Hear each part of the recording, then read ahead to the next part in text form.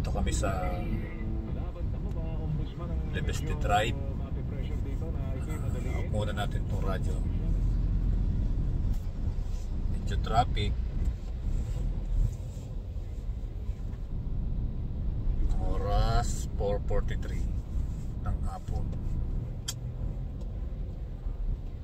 Ito ay ito po ay araw-araw na routine ni Ama ang pagsundo sa kanyang mga batuta. Hindi naman batuta eh? Batugan. Kasi sobrang sipag sa bahay.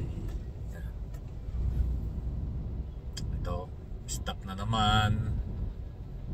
As usual. Uh, naghihintay sa pag-green ng traffic light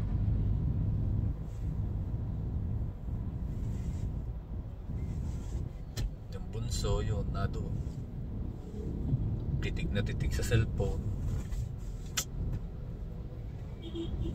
Bagay. yan talagang buhay. Yung aking nasa kanan din eh. Si Denicia cellphone din ang hawak. Ewan ko kung related sa pag-aaral ng tinitingnan. Related yan. Hindi sinasabi ko. Hindi daw related sa pag-aaral yung kanyang tinitingnan sa cellphone. Pero okay lang. Basta importante pag nasa bahay bawal ang cellphone.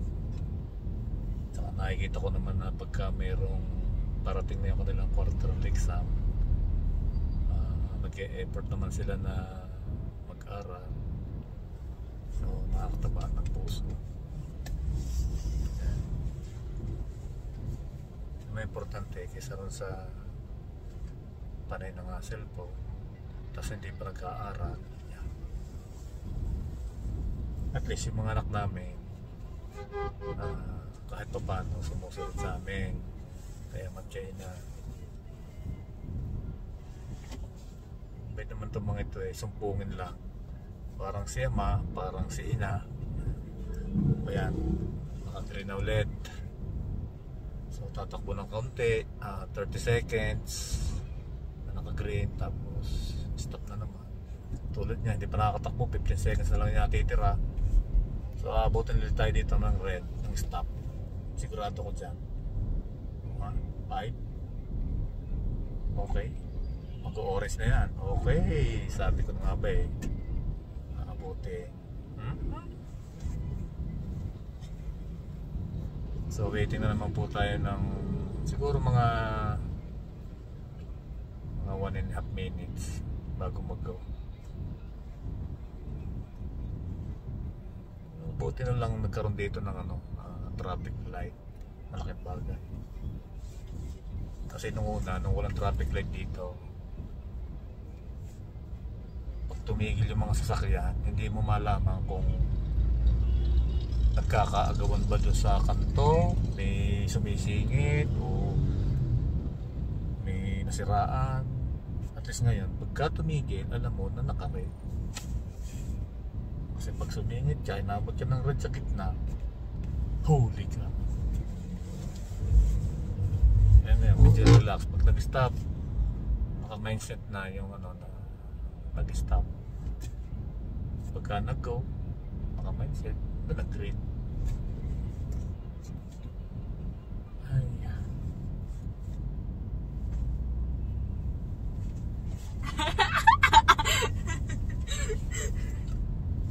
Bakit ka bigla natawa, be? Ha?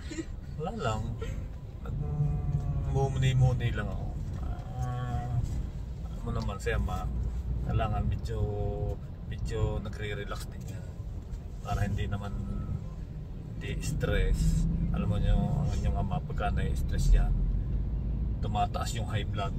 Tama ba yun? tumataas ang high blood. Sana na na high blood. Kasi high na eh. Kasi hindi, hindi mo nalalagyan ng tumataas. Na so yan pong bunso ko. Tinawanan ako. Bagay. First time ko lang kasing ginawa itong ganito na mag-video. habang nagmamaneho. Sarap din pala. Ayan, malapit na mag-green. Okay, 30 seconds. Go na! Yan. Hintay ko pa ng busayin ako eh. So nag-green, go kagad. Para hindi sayang ang oras. Alam nyo kasi every single seconds napaka-importante sa karsada.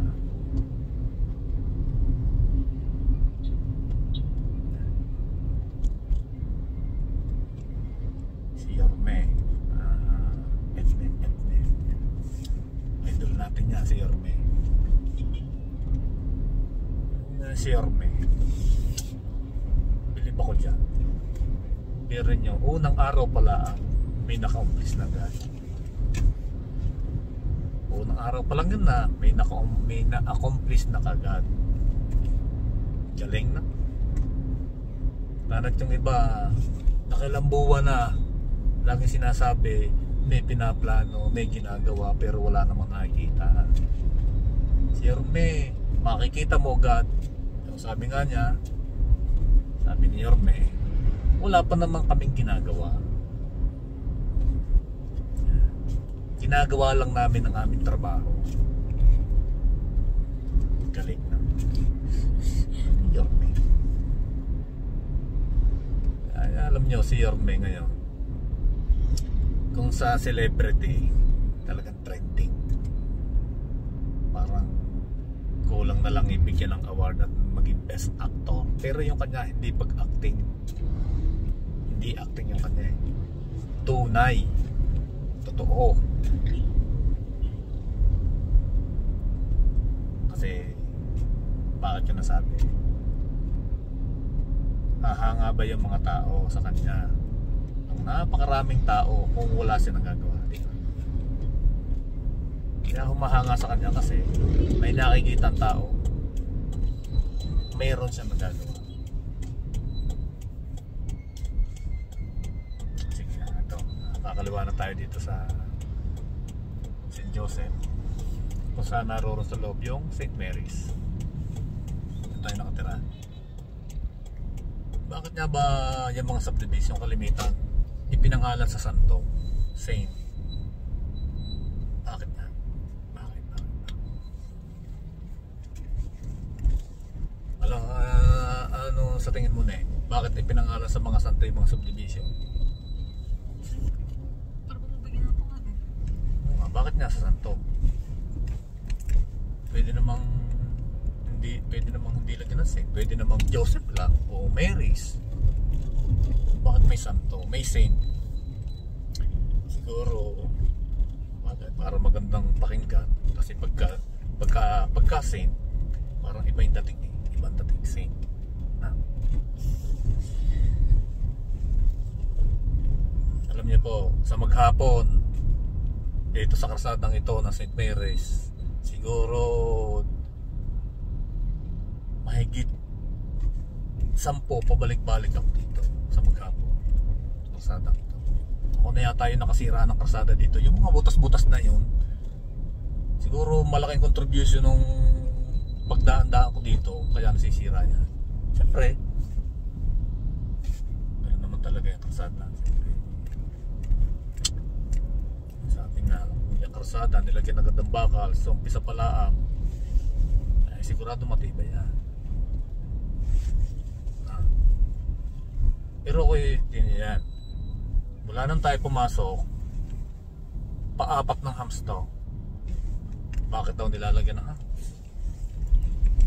Kasi maraming abusado motorista mga motor, mga four-wheel kasi nga naman subdivision na. Ang takbo akala mo kumakarera. So ginawang ano dyan nilagyan nila ng hams para hindi makatakbo ng matulid kasi nga naman sige takbo ka na matulid pag hindi lumipad diyan pag pagdaan mo sa hams di ba? Pero sa isang banda sayang naman yung karsada. Pinaganda nga yung karsada pero nilagyan naman ng hams ano man lang yan eh. Ah, nasa tao na rin yan. Bakit nilalagyan ng hams sana lahat ng motor motorista may disiplina sa pagmamaneho. Tulad nito, papasok pa lang na St. Mary's, hamsta agad. Toink! Oo nga. So, paano? Ah, malapit na po kami sa amin. Siguro bukas na lang ulit tayo magkita-kita. Siguro Ewan ko kung may masabi pa ako bukas o ano. O, Tingnan natin.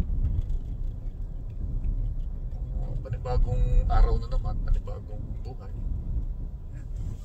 So, tigil na tayo dito. Okay. Bye-bye.